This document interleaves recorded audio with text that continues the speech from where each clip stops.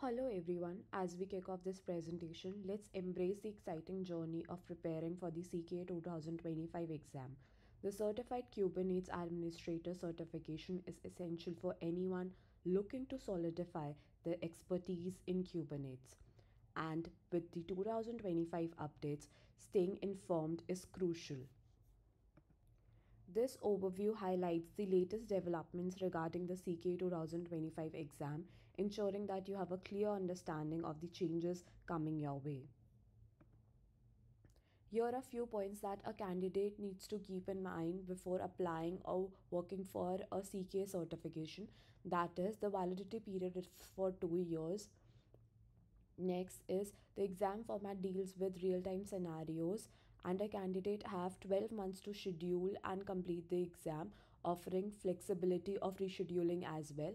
And then there is a retake policy which needs to be covered in a 12 month period itself.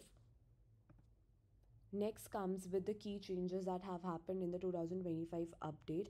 It's crucial to understand how these changes will shape the way candidates prepare for the exam. The key changes outlined here are designed to make the exam more relevant and applicable to real world Kubernetes scenarios, ensuring that the candidates are well equipped with the face challenges and in today's landscape. First is the introduction of the new topics. Next comes the curriculum adjustments that they have made. And it is way more practical exam rather than the theoretical knowledge that has been added over here. And 30% of the knowledge is for troubleshooting, which is the increased weightage for the troubleshooting section that we have. Next comes up uh, with the terms that has been deleted. Um, there are two removal of specific topics such as the etcd backup and the restoration is no longer included in the exam. Additionally, kubeadm for cluster updates is now excluded from the exam content as well. This indicates move away from the traditional updates and shifting towards way more automated and streamlined methods of cluster management. Additionally, kubeadm for cluster updates is now excluded from the co content as well. Um, moreover, we have, uh, speaking of the real world applications, the exam will now place a stronger emphasis on practical knowledge and management skills. One of the areas of focus will be the gateway APIs. This emerging standard is crucial for managing ingress traffic and its inclusion in the real in the real highlights is the importance of modern Kubernetes architecture. Helm and Kustomize are also being spotlighted over here. These tools are vital for package management and resource customization within Kubernetes. Moreover, CRDs and operators will receive particular attention. Understanding these concepts is vital as they enable users to extend Kubernetes functionality and automate complex tasks. Starting in 2025, um, there were significant changes, and moreover, from 18th February, all these changes have been added. So there is a minimum scoring percentage that, that is 66%, and you have to complete exam within two hours.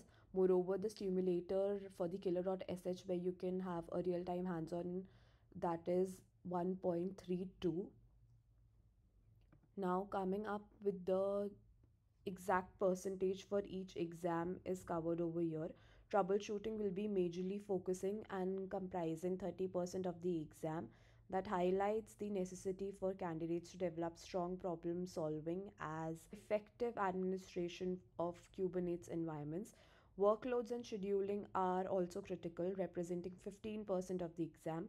Cluster updates is also vital, uh, making up to 25%.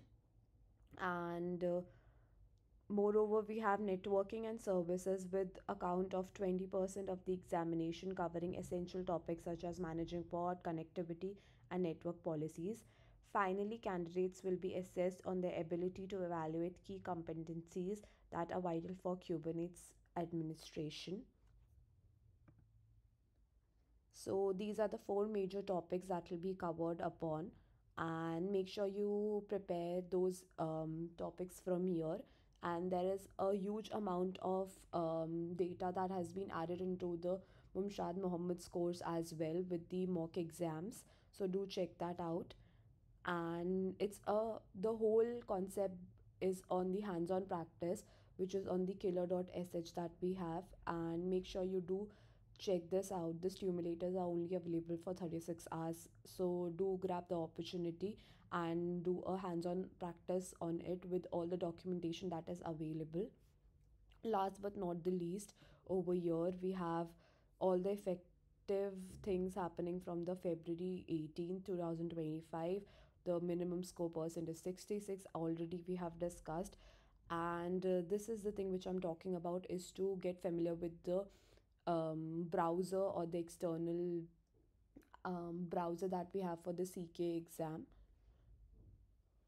Last but not the least it brings us to the end of the slide and um, let me know if you have any doubts in the ck preparation. Do let me know your um, feedback or any of the suggestions in the comments down below. Thank you